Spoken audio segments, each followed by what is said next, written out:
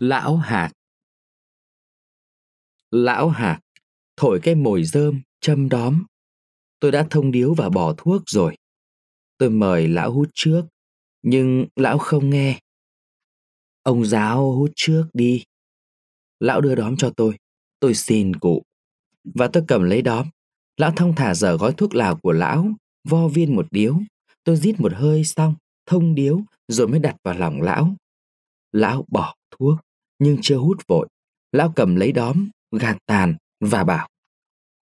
Có lẽ tôi bán con chó đấy ông giáo ạ. À. Lão đặt xe điếu, hút. Tôi vừa thở khói, vừa gà gà đôi mắt của người say, nhìn lão. Nhìn, để làm ra vẻ chú ý đến câu nói của lão đó thôi. Chẳng bao giờ lão bán đâu. Và lại có bán thật nữa thì đã sao? Làm quái gì một con chó mà lão có vẻ băn khoăn quá thế? Lão hút xong, đặt xe điếu xuống, quay ra ngoài, thở khói. Sau một điếu thuốc lào, óc người ta tê dại đi trong nỗi đê mê nhẹ nhõm. Lão Hạc ngồi lặng lẽ, hưởng chút khoái là con con ấy. Tôi cũng ngồi lặng lẽ, tôi nghĩ đến mấy quyển sách quý của tôi. Tôi quý chúng có lẽ còn hơn những ngón tay tôi. Hồi bị ốm nặng ở Sài Gòn, tôi bán gần hết cả áo quần, nhưng vẫn không chịu bán cho ai một quyển. Ốm dậy tôi về quê, hành lý chỉ vẻn vẹn có một cái vali đựng toàn những sách. Ôi, những quyển sách rất nâng niu, tôi đã nguyện giữ chúng suốt đời để lưu lại cái kỷ niệm một thời chăm chỉ hăng hái và tin tưởng, đầy những vẻ say mê, đẹp và cao vọng. Mỗi lần mở một quyển ra, chưa kịp đọc dòng nào, tôi đã thấy bừng lên trong lòng tôi như một dạng đông. Cái hình ảnh tuổi 20 trong trẻo, biết yêu, biết ghét. Nhưng đời người ta không chỉ khổ một lần, mỗi lần cùng đường đất sinh nhai và bán hết mọi thứ rồi tôi lại phải bán đi một ít sách của tôi. Sau cùng, chỉ còn có năm quyển, tôi nhất định dù có phải chết cũng không chịu bán. Ấy thế mà, rồi tôi cũng bán. Mới cách đây có hơn một tháng thôi, đứa con nhỏ của tôi bị chứng lị gần kiệt sức. Không, lão Hạc ơi, ta có quyền giữ cho ta một tí gì đâu. Lão quý con chó vàng của lão đã thấm vào đâu với tôi quý năm quyển sách của tôi. Tôi nghĩ thầm trong bụng thế. Còn lão Hạc nghĩ gì? Đột nhiên lão bảo tôi, này, thằng cháu nhà tôi đến một năm nay chẳng có giấy má gì đấy ông giáo ạ. À. à, thì ra lão nghĩ đến thằng con lão, nó đi cao su năm sáu năm rồi. Hồi tôi mới về, nó đã hết một hạn công ta Lão Hạc đem thư của nó sang mượn tôi xem, nhưng nó xin đăng thêm một hạn nữa. Lão vội cắt nghĩa cho tôi hiểu tại sao lão đang nói chuyện con chó lại nhảy vọt sang chuyện thằng con như thế. Con chó là của cháu nó mua đấy chứ. Nó mua về nuôi, định để đến lúc cưới vợ thì giết thịt. Ấy, sự đời lại cứ thường như vậy đấy. Người ta định rồi chẳng bao giờ người ta làm được. Hai đứa mê nhau lắm. Bố mẹ đứa con gái biết vậy nên cũng bằng lòng gả. Nhưng họ thách nặng quá. Nguyên tiền mặt phải 100 đồng bạc, lại còn cao còn rượu, cả cưới nữa thì mất đến cứng 200 bạc. Lão Hà không lo được. Ý thằng con lão thì nó muốn bán vườn, cố lo cho bằng được. Nhưng lão không cho bán. Ai lại bán vườn đi mà lấy vợ. Và lại bán vườn đi thì cưới vợ về ở đâu? Về lại nói cho cùng, nếu đằng nhà gái họ cứ khăng khăng đòi như vậy thì dẫu có bán vườn đi cũng không đủ cưới. Lão Hạc biết vậy đấy, nhưng cũng không dám sẵn. Lão tìm lời lẽ giảng giải cho con trai hiểu. Lão khuyên nó hãy dằn lòng bỏ đám này để gắng lại ít lâu xem có đám nào khá, nhẹ tiền hơn sẽ liệu. Chẳng lấy đứa này, lấy đứa khác. Làng này đã chết hết con gái đâu mà sợ. Lạy rời lạy đất, nó cũng là thằng khá, nó thấy bố nói thế thì nó thôi. Nó không đả động đến việc cưới xin gì nữa. Nhưng nó có vẻ buồn. Và lão biết nó vẫn theo đuổi con kia. Lão thương con lắm. Nhưng biết làm sao được. Tháng 10 năm ấy con bé kia đi lấy chồng. Nó lấy con trai một ông phó lý. Nhà có của. Thằng con lão sinh phẫn trí. Ngay mấy hôm sau, nó ra tỉnh đến sở mộ phu đưa thẻ ký giấy đi làm đồn điền cao su. Lão dần dấn nước mắt bảo tôi.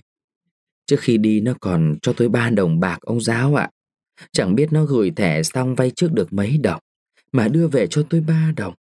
Nó đưa tôi ba đồng bảo, con biếu thầy ba đồng, thỉnh thoảng thầy ăn quà.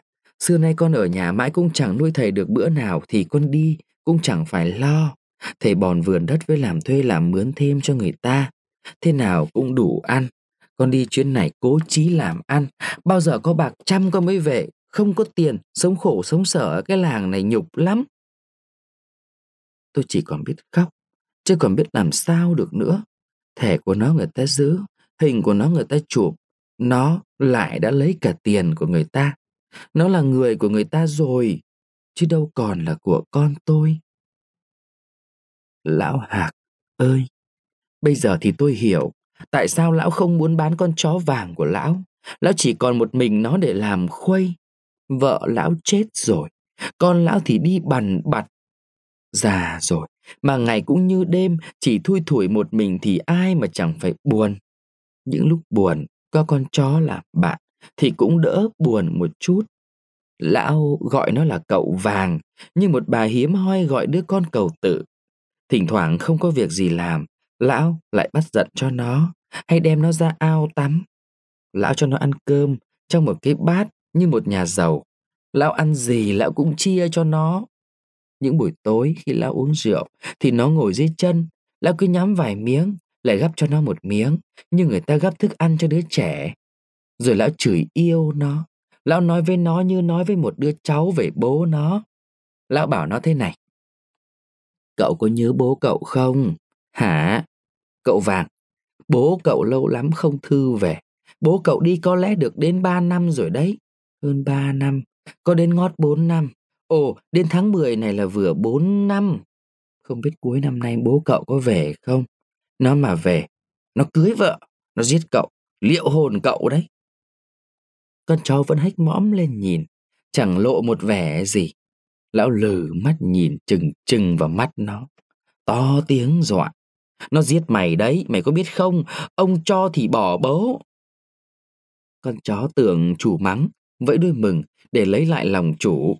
Lão Hạc lại nạt to. Mừng à? Vẫy đuôi à? Vẫy đuôi thì cũng giết. Cho cậu chết. Thấy lão sừng sộ quá, con chó vừa vẫy đuôi vừa trực lảng. Nhưng lão vội nắm lấy nó, ôm đầu nó, đập nhẹ nhẹ vào lưng nó mà giấu dí. À không, à không, không giết cậu vàng đâu. Cậu vàng của ông ngoan lắm, ông không cho giết, ông để cậu vàng ông nuôi. Lão buông nó ra, nhấc chén, ghé lên môi uống. Lão ngẩn mặt ra một chút rồi bỗng nhiên thở dài, rồi lão lẩm bẩm tính. Ấy là, lão tính cái tiền bòn vườn của con. Sau khi thằng con đi, Lão tự bảo rằng cái vườn là của con ta. Hồi còn mồ ma mẹ nó, mẹ nó cố thắt lưng buộc bụng rè sẻn mãi mới để ra được 50 đồng bạc tậu. Hồi ấy mọi thứ còn rẻ. Của mẹ nó tậu thì nó hưởng. Lớp trước nó đòi bán. Ta không cho bán là ta có ý giữ cho nó. Chứ có phải giữ ta ăn đâu.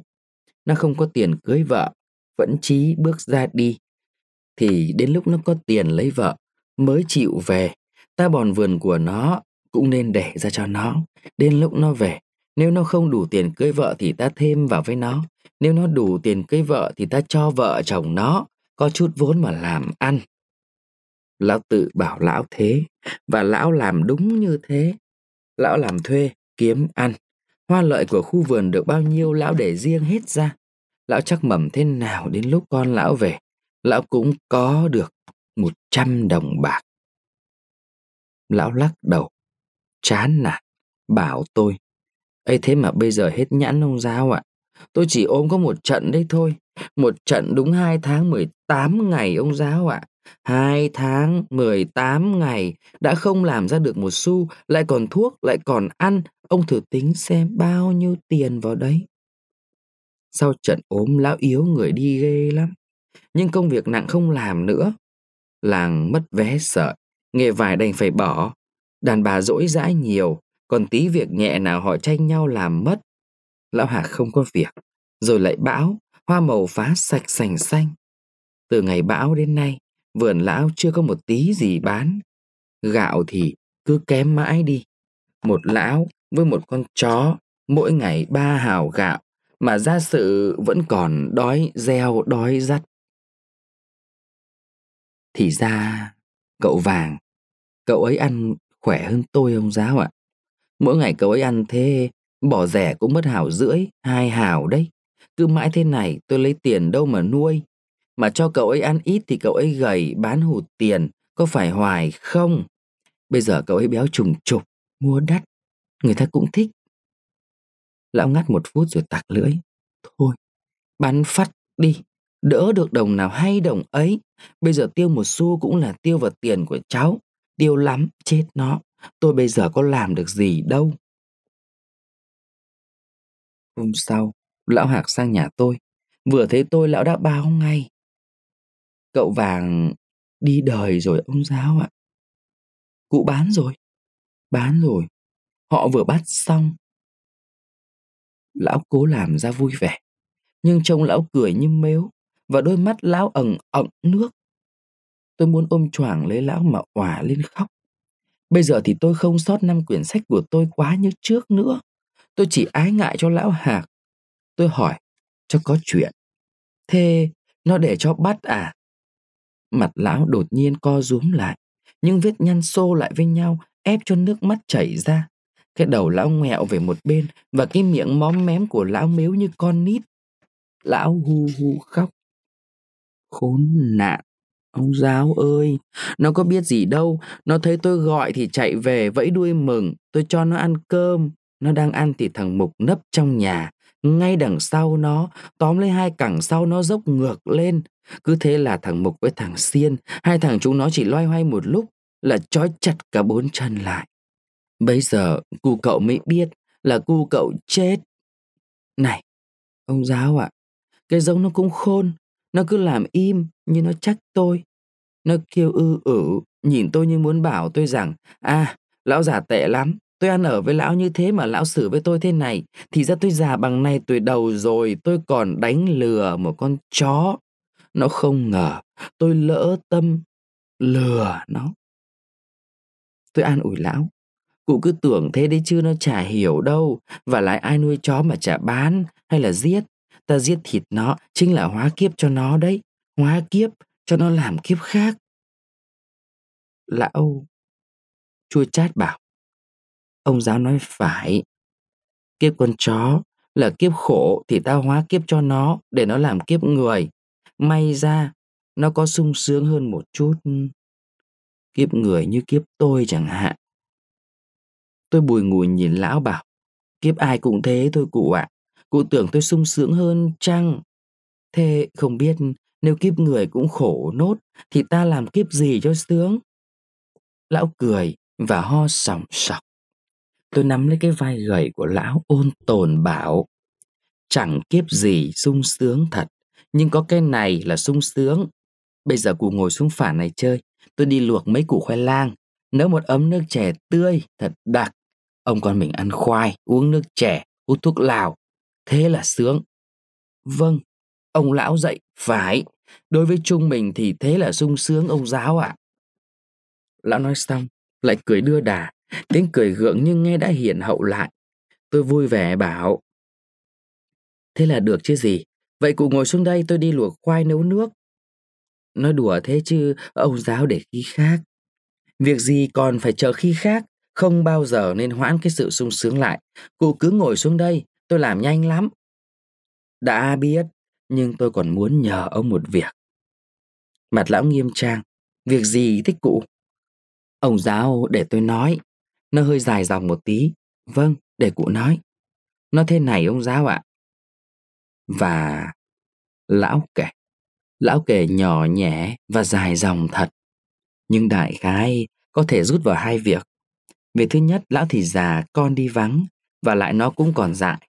Nếu không có người trông nom cho nó Thì khó mà giữ được vườn đất làm ăn ở làng này. Tôi là người nhiều chữ nghĩa, nhiều lý luận Người ta kiêng nể. Vậy lão muốn nhờ tôi cho lão gửi ba xào vườn của thằng con. Lão viết văn tự nhượng cho tôi để không ai còn tơ tưởng dòm ngó đến. Khi nào con lão về thì nó sẽ nhận vườn làm, nhưng văn tự cứ để tên tôi cũng được. Thế để dễ trông coi. Việc thứ hai lão già yếu lắm rồi, không biết sống chết lúc nào, không có nhà. Lỡ chết không biết ai đứng ra lo, để phiền cho hàng xóm thì chết không nhắm mắt. Lão còn được ừ, 25 đồng bạc với 5 đồng vừa bán chó là 30 đồng muốn gửi tôi. Để nhỡ có chết thì tôi đem ra, nói với hàng xóm giúp, gọi là của lão có tí chút, còn bao nhiêu thì nhờ hàng xóm. Tôi bật cười bảo lão, sao cụ lo xa quá thế? Cụ còn khỏe lắm, chưa chết đâu mà sợ. Cụ cứ để tiền đấy mà ăn, lúc chết hay hay. Tội gì bây giờ nhịn đói mà tiền để lại? Không, ông giáo ạ, à, ăn mãi hết đi thì đến lúc chết lấy gì mà lo liệu. Đã đành rằng thế, nhưng tôi bòn vườn của nó bao nhiêu tiêu hết cả. Nó vợ con chưa có, ngộ nó không lấy gì lo được bán vườn thì sao? Tôi cắn rơm cắn cỏ lạy ông giáo. Ông giáo có nghĩ cái tình tôi già nua tuổi tác mà thương thì ông giáo cứ cho tôi gửi. Thấy lão nằn nỉ mãi, tôi đành nhận vậy. Lúc lão ra về tôi còn hỏi, có đồng nào cụ nhặt nhạnh đưa cho tôi cả thì cụ lấy gì mà ăn? Lão cười nhạt bảo, được ạ, à, tôi đã liệu đâu vào đấy, thế nào rồi cũng xong.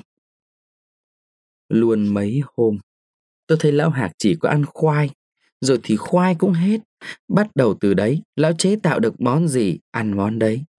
Hôm thì lão ăn củ chuối, hôm thì lão ăn sung luộc, hôm thì ăn rau má, thỉnh thoảng vài củ giấy hay bữa chai bữa ốc.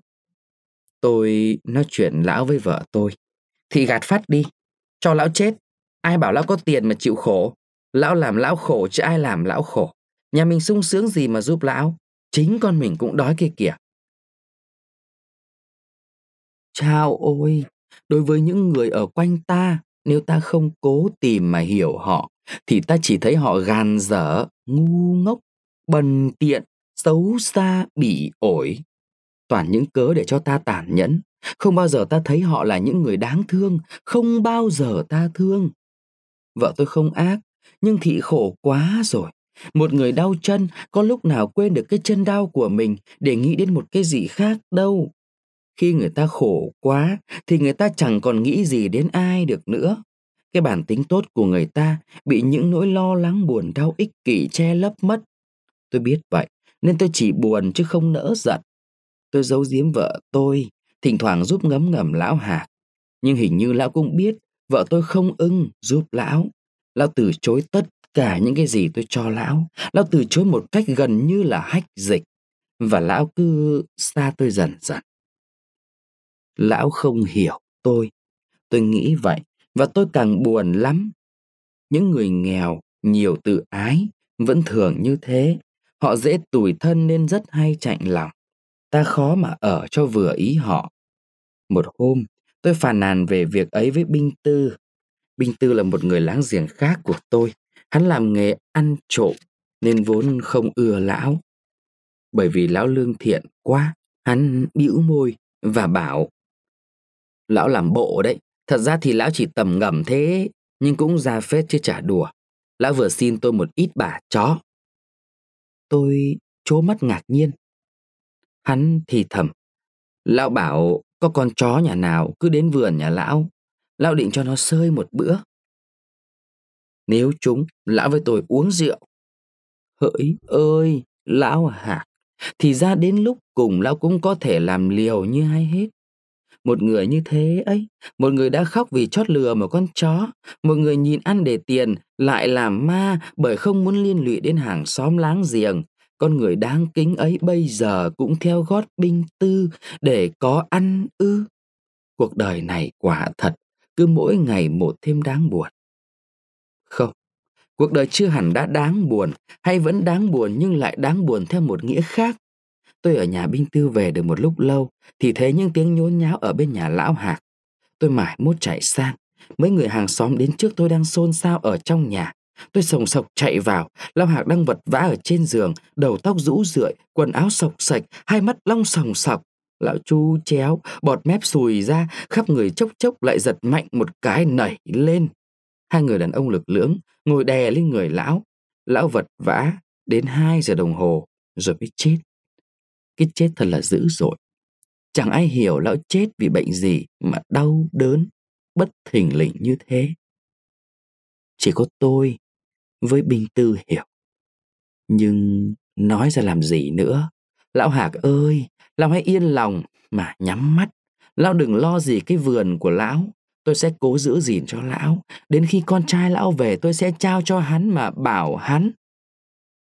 Đây là cái vườn mà ông cụ thân sinh ra anh đã cố để lại cho anh trọn vẹn. Cụ thà chết chứ không chịu bán đi một sao. VTC nào